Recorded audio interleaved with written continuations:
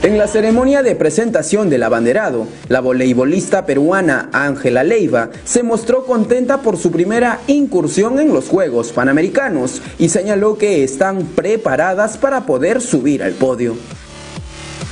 Eh, contenta, contenta de poder participar en, unos Juegos Panamericanos. Eh, Lima 2019 es la primera vez que se realiza aquí y, y nada, estamos a puertas de este campeonato.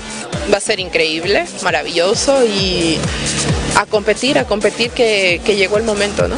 Nosotros sabemos que estamos súper preparadas, eh, el objetivo y nuestra mente está en poder obtener una medalla y eso es importante, ¿no?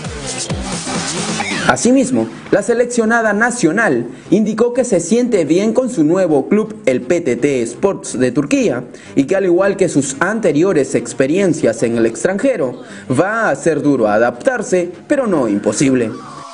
La nueva temporada para mí es un, nuevo país, son costumbres nuevas, entonces va a ser difícil, al igual que lo fue en Brasil, no fue fácil, pero me gusta, me gusta lo que hago, entonces cada año me, Dios me sorprende más y, me lleva por un camino que a veces yo digo, wow, eh, son, son las mejores ligas, entonces eso es bueno, ¿no?